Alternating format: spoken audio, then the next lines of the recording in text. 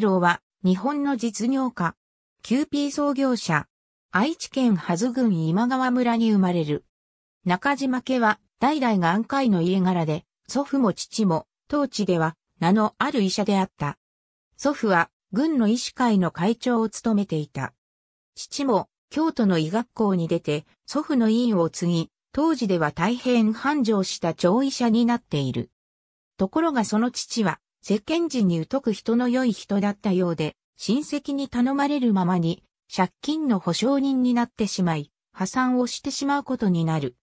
夜逃げのような状態で名古屋に引っ越すことになり、1893年には9歳で母を亡くし、弟二人と妹一人が親戚にもらわれていった。同年末に上京し、明治29年に東京婦人城中学校入学。同期に鳥類学者の内田聖之助など、明治35年、府立一中を卒業し、明治37年、水産講習所へ入学。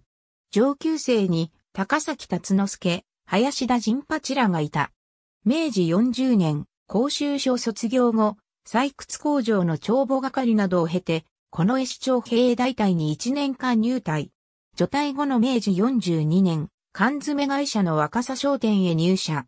高崎の勧めで、農商務省の海外実業実習生に応募し、選ばれ、大正元年、欧米に派遣される。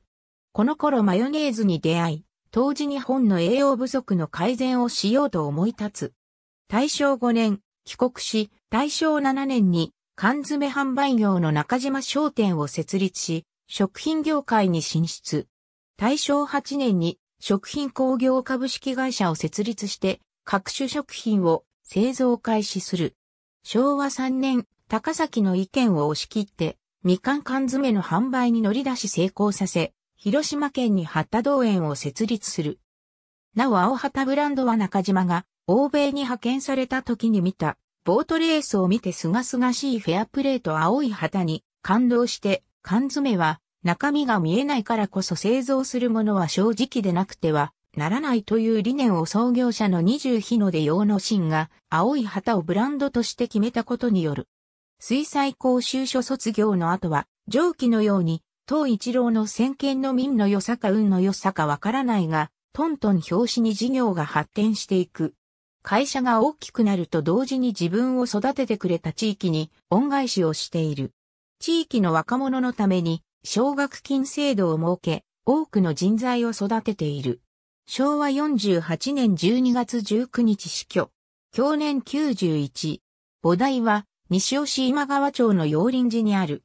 なお東一郎の関係の先祖の系類は、同じ市内の上道目町にある二院の過去町に残っている。ありがとうございます。